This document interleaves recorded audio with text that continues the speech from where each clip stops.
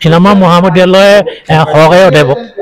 হয়। কুমাৰ ভঁৰালী কুমাৰ অঁ, আমি বিশেষকৈ আমি এই সামাজিক লগত যিসকল জড়িত থাকে বা এনেকুৱা অনুষ্ঠানত যিসকল জড়িত আছে আমি অকল তেখেতক বুলি কোৱা তেখেতসকলেও কোৱা নাই। আমি যেতিয়া আমি এনেকুৱা অনুষ্ঠানবিলাক কৰোঁ আমি বিভিন্ন সামাজিক অনুষ্ঠানৰ ব্যক্তি জড়িত থকা ব্যক্তিসকলক আমি আমন্ত্ৰণ কৰি আনি আমাৰ মাজত এইখিনি আমি আলোচনা কৰিব বিচাৰোঁ।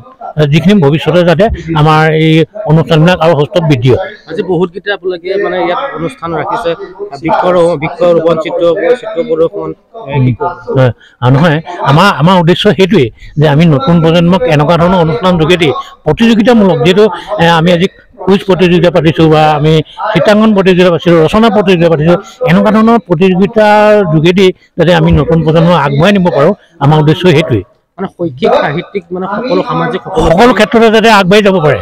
আমাৰ উঠি অহা নতুন প্ৰজন্ম। আমাৰ উদ্দেশ্যটো এটাই মাত্ৰ সেইটোৱেই